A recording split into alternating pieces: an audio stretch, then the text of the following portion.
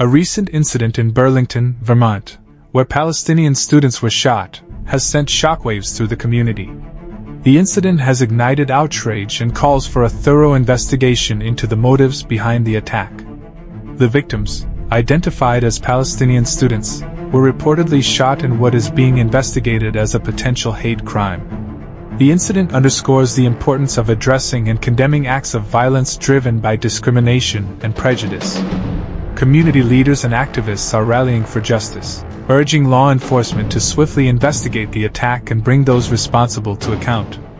The incident also prompts reflection on the need for greater efforts to combat intolerance and xenophobia within communities.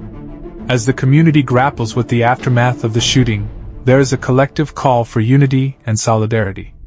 The incident serves as a reminder of the imperative to create safe environments for all individuals, regardless of their background or ethnicity. The hope is that this tragic event will lead to increased awareness and concerted efforts to build a more inclusive and compassionate society.